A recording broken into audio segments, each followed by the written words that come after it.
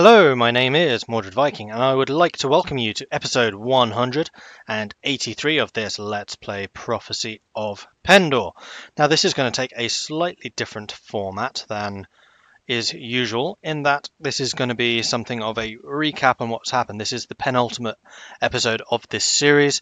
I want to end with a bit of a bang on the finale, but I thought it would be kind of cool to revisit the entire life of Klaus Witz in this game. So don't worry, I'm not going to have all 90 hours of footage that we have actually recorded over the past couple of months, but rather kind of a, a highlights reel.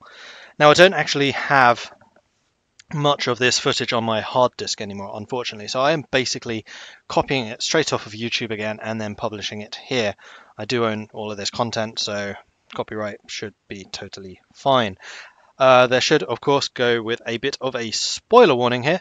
If you haven't seen the entire series and you're a little bit worried about catching up and the like, then you probably should pause right now and then watch this a bit later. But if you have been following the series from the beginning, Thank you very much, first of all, for your support. It is really, really appreciated. Without you guys constantly commenting, liking, and of course just watching these videos, I would never have got as far as I have. And Prophesy of Pendor is by far and away the most popular series that I have done on my channel to date. So really, guys, you are completely making this for me. So thank you ever so much. Now you will notice that the uh, quality here is not quite as good. I am basically just recording this in a little window from YouTube, so we're not going to be getting the full quality HD footage, unfortunately, and for that I do apologize.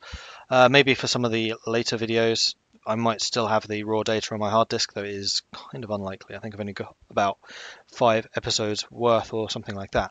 Anyway, um, I will just be kind of popping along from clip to clip. I'll be using, for the most part, the actual in-game audio rather than this voiceover that I've been doing up until now. And yeah, I, I hope you enjoy this little recap that we're doing.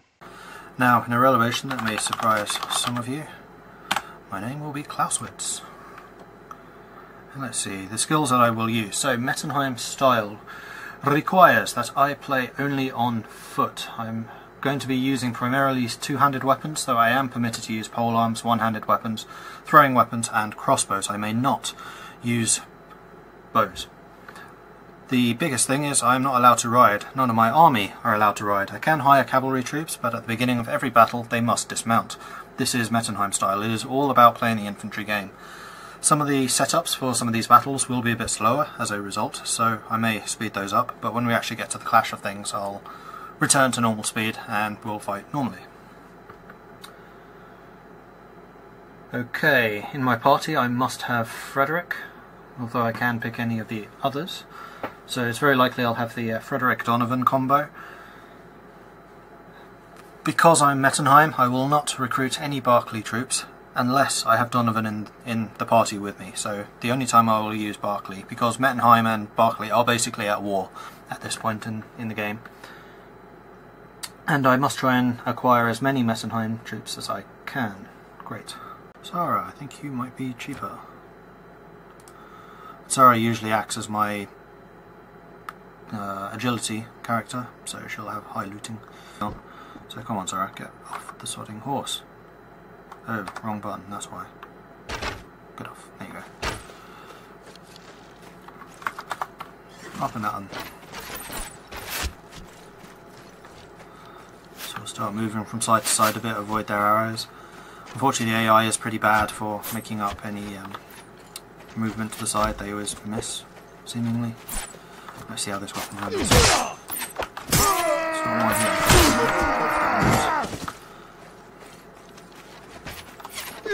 Cyrus quick. and there we go, victory in our very first fight. Episode 1, we were playing with the release version, so 3.7. However, there has been an update now to 7.02 Unfortunately that is not save game compatible, so we've lost around 5 days of gameplay. I did start a new game, but Duke Brennus versus a Ravenstern army. Let's jump in on Brennus' side, because Brennus is an absolute gangster when it comes to fighting, because he has a whole load of Knights of the Lion. Looks like Ravenstern has Ice Guard Rangers, who are a new unit, but they are losing pretty heavily. Uh, Brennus So this is our first faction fight. I'm pretty sure if we're going to be joining the Fear train that we'll be at war with Ravenstern anyway, so helping Sarleon is not going to cost us anything. That's a lot of Knights of the Lion. Awesome. The main danger of the heretics they just have those one or two units which are really heavily armoured in each of those patrols. It's been a bit of a fight.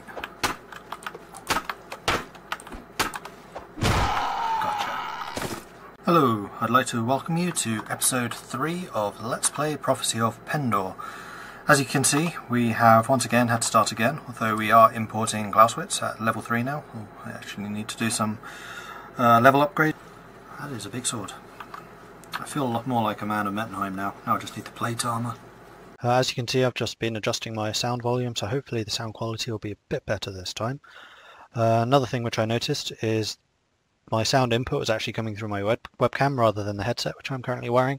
That's been changed, so hopefully the sound quality will also improve and you'll get less of the clickety clatter of using my keyboard and mouse.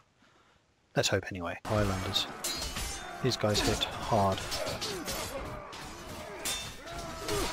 Yikes, yikes.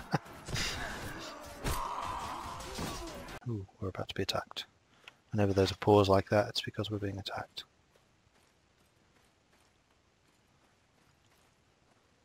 What are you?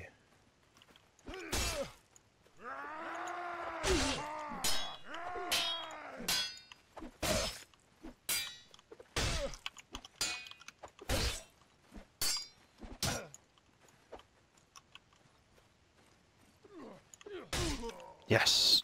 Didn't think I'd win that, because usually they kill you with the bloody knives. Do you want some mercenaries?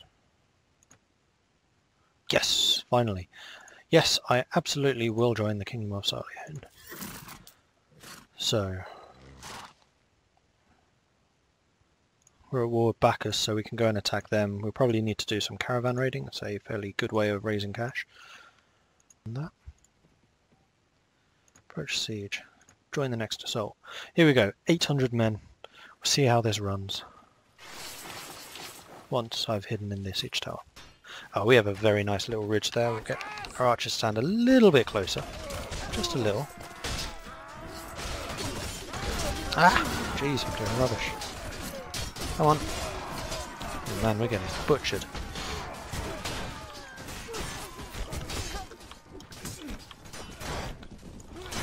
Yikes. Maybe this was not quite such a good idea. Ow, ow. Wipes. These guys are hard.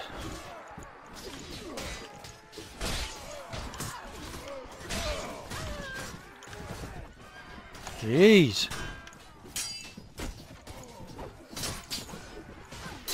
keep thinking that javelin sticking out my back is my sword.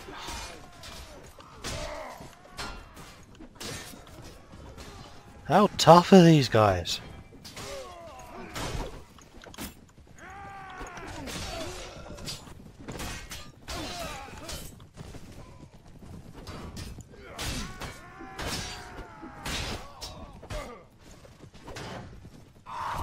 Ow, bollocks. Alright, we're running, but we've probably just been captured. Yes. Oh, it was going so well. Well, so are the fortunes of war, but lesson learned. The Centurions, damn. I think they do level at least. Son of a. Didn't even see them. Oh, okay.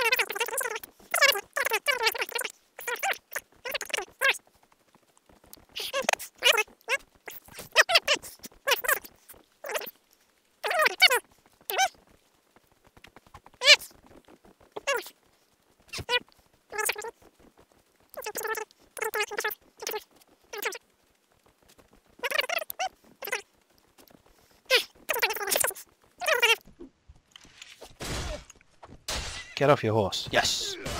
Have at it! Come on! After that terrible defeat just now. That was amazing. That is what Pendor is all about. Wow, that was cool. Interesting rumour about Eventide. So the Empire Legionnaire told him demon warriors are child's play to fight compared to Eventide. I wonder if there's a link between them though. Ooh. So here we go, Shadow Legion. So this also tells you about the uh, relation between the orders, which I think was one of the most important things to uh, introduce to the uh, the lore of the Bard. Okay, um, yeah, about the law between the relations between different orders, because that's really what fleshes them out. It's it's not what they do right; it's what they do wrong. It's it's the drama. It's it's why they're at odds with other factions that really makes them interesting. I think. Yes! Freddy! Do I have money? No! Bugger. Pretty sure I can't afford him, but we'll have a word with old Fred Meister. He's still got his big mustache. Yes. Someone on the forums was saying that some of the uh, faces have changed and he might have lost it.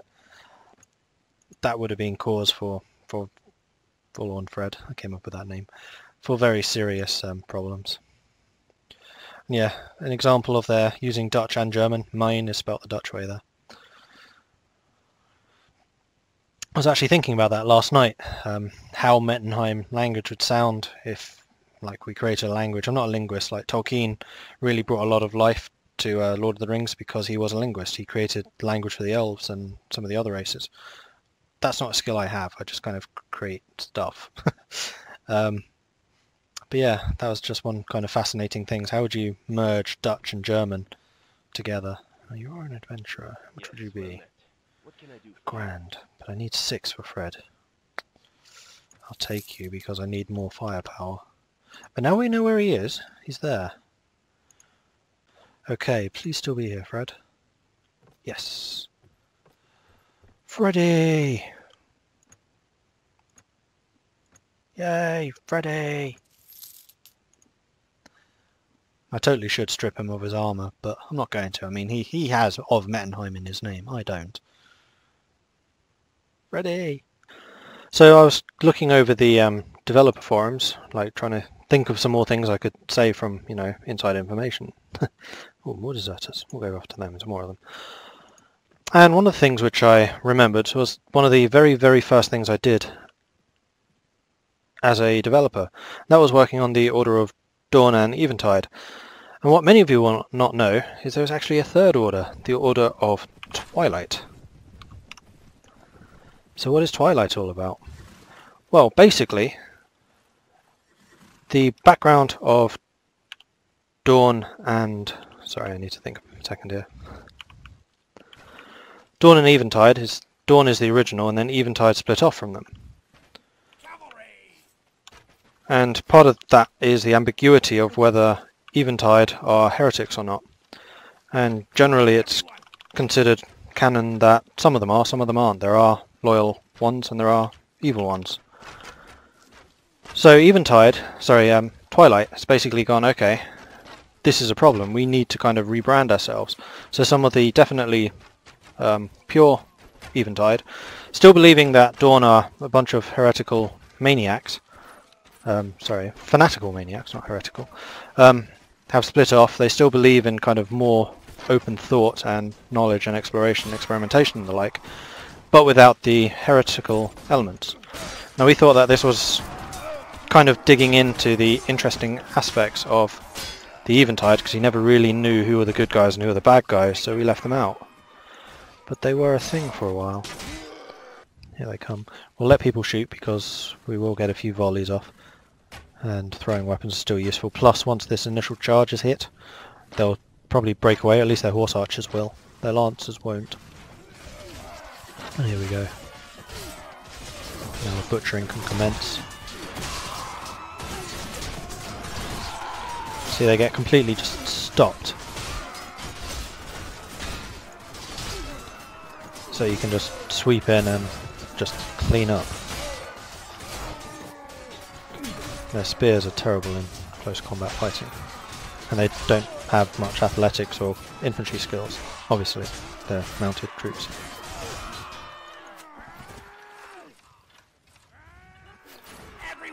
Now we just clear up.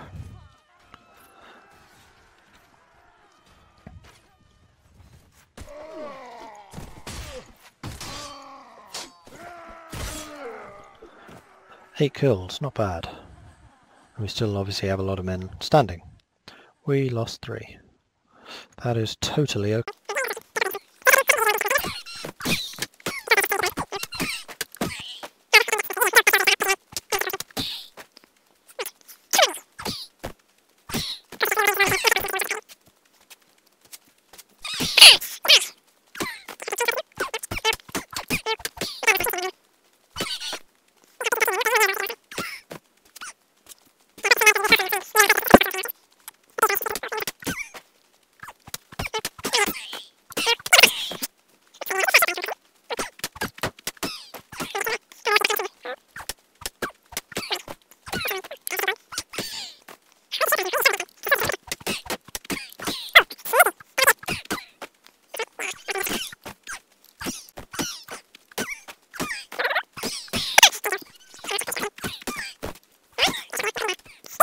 You versus me now.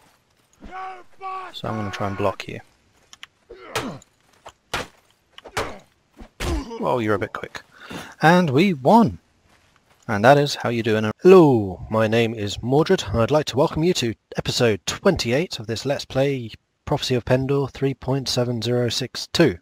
Yes, that's right, we have upgraded to the new patch. We have started a new game, although you may not recognise it as such. So yes, these Mettenheim Aventoyers, we did not see them at all during the last play. I don't know why. I think they were working because other people were saying that they had them. But we never saw any and I wanted to get them because they lend themselves rather well to our playthrough. And just before um, 3.7 actually came out, the original version, uh, my only request to the team was that they add these guys so that it was possible to get Mettenheim troops regular infantry and crossbows. Now the previous patch, well yeah, the previous version, this wasn't working. This was supposed to work. It does now. So we now have a way of getting Mettenheim soldiers, which is brilliant. Victus, dude. Hello. Yay! That is precisely the one I wanted. Marvellous. Okay, so we are now with the Wildthane, and we are at war with the Shah. Oh, Valdis and Stonehand. This is a fight we definitely want to join, because we want the king to like us more. And we obviously want Stonehand to like us more, because he's a duke.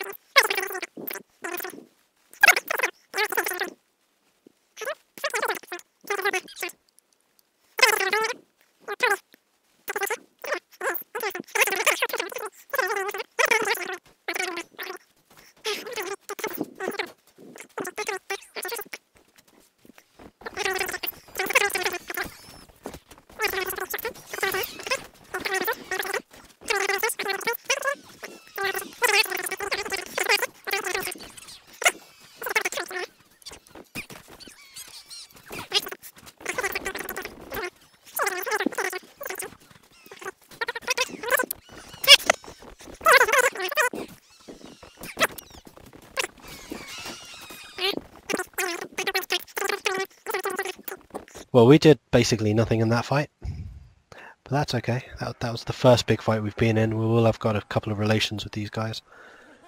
We added numbers, if nothing else. That is Wolfbode. Who's that? Jatu. Oh, I just got Uluveta. okay, I wonder if Diev can actually use it yet. Don't chase me, Wolfbode. Go away, Wolfbode. Go away. Uh, right. No! Why'd you go that way? You idiot! Ah! Really? 42 soldiers. For fuck's sake. I clicked the opposite direction. Excuse my swearing there, but that this is really frustrating. Yeah, now you go this way. Yeah, piss off. Ah! You, you can even see my trail going this way, this way, and then boom, into Wolfbode. And then we will walk around the streets and see if I can remember where on earth this chest is. It has been a while.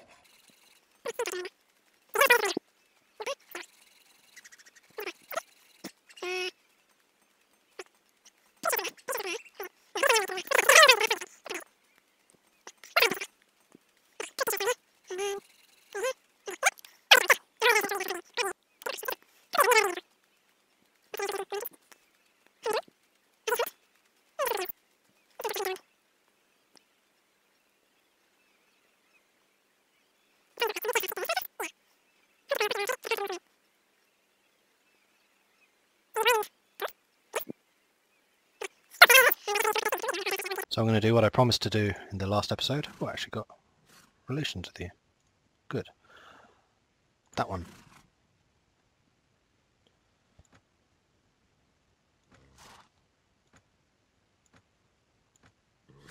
Marvellous. I am now a lord of the Fierdsvain. Wait, I got... okay, so what I just said was completely untrue. Although I'm sure it is still true. Maybe Gemers also didn't have a, a lord. Yeah, because no relations dropped with anyone, so they didn't lose their lands in my favour. So I guess because it was taken from the D'Shar, oh, and it's looted, and it's right. Oh, man, that's completely thrown me. Oh well. Yes. okay. 1,000 against 760. This is going to be a big fight.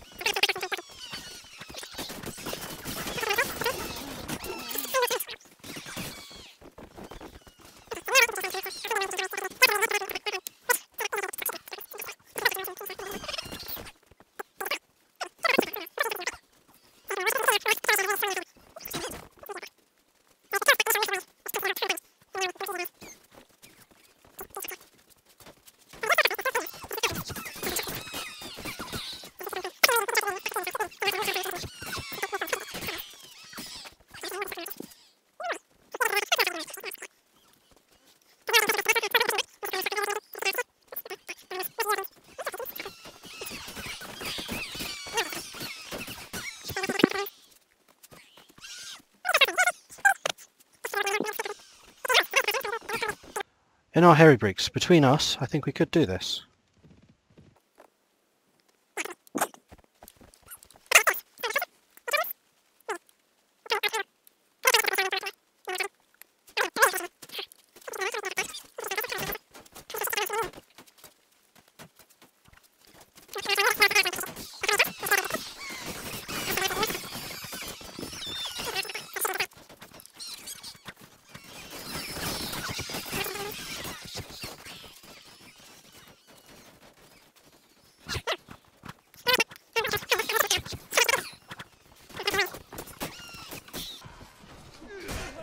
Oh, what a hit!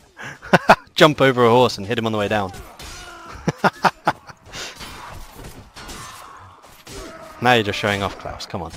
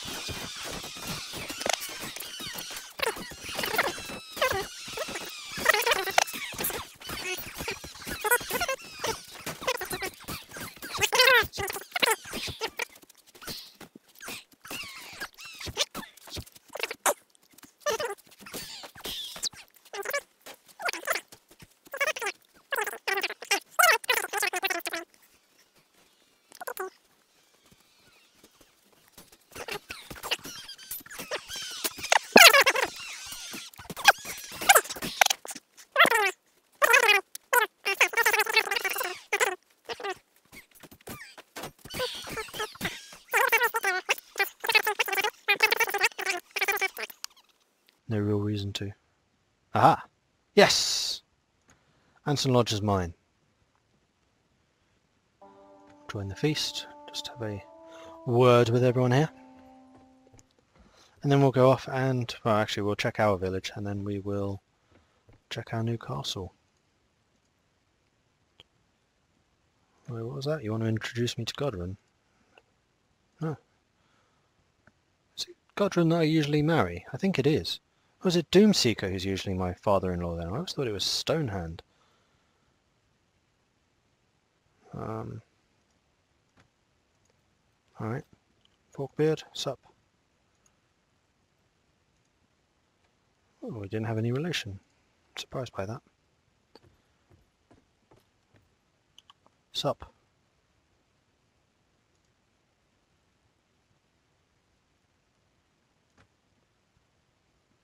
Aw, bitch.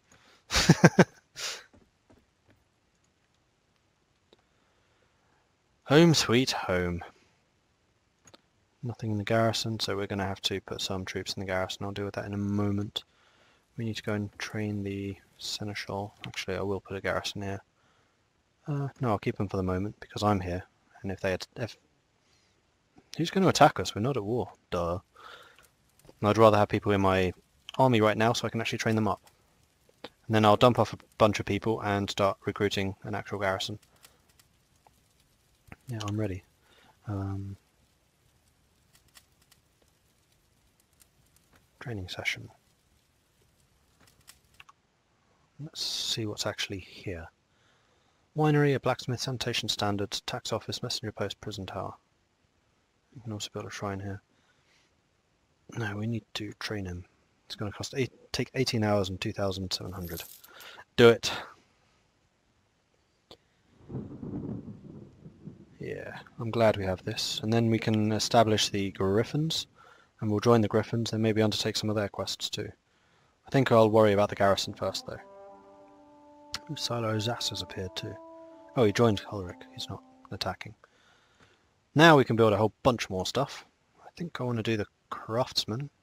Although these places can't get raided, can they? So there's no real reason to have it.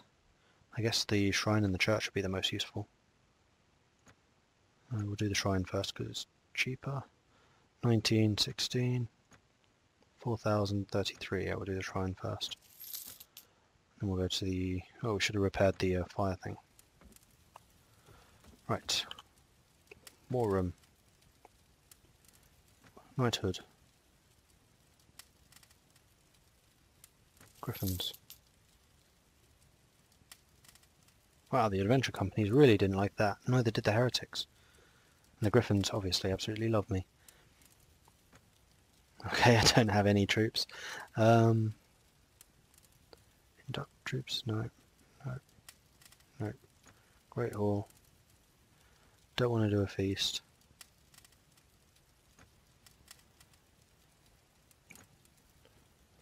Let's see. Dangerous generalship. Lord, lead a force of chosen knights of the Griffin.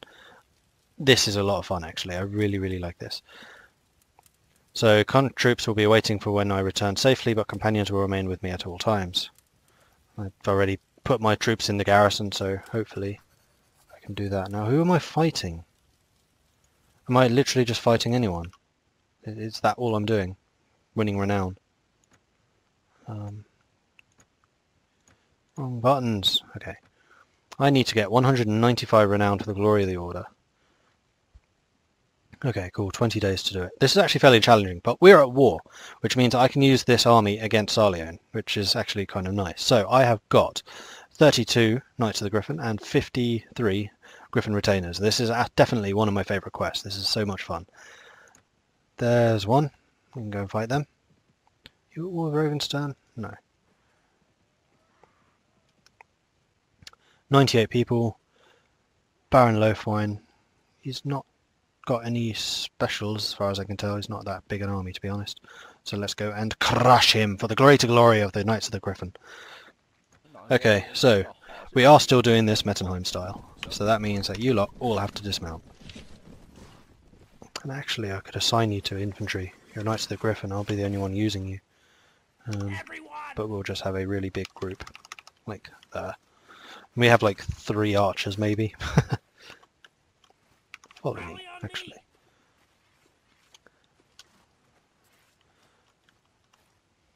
Knights of the Griffin just look so cool. I really like them. I think it's like the uh, black tabard with the armor.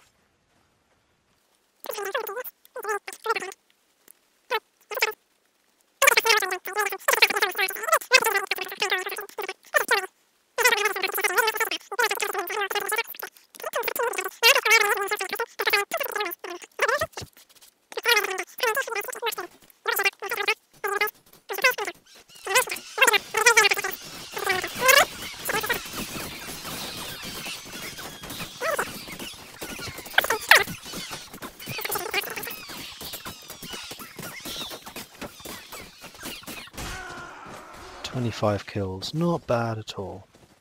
Then one lone horseman. Good, victory. Join. He didn't join. Ah. Ah. Nine soldiers. No, I can't afford that. I'm going to lose this fight.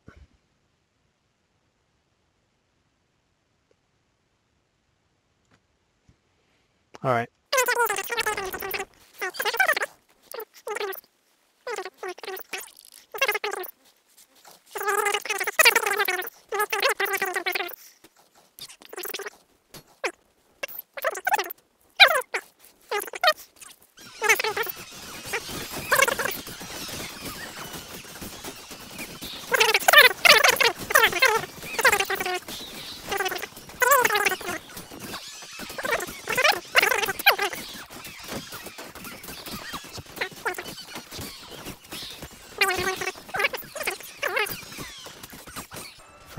go and close. How many of us are left? Seven against 111. Cripes.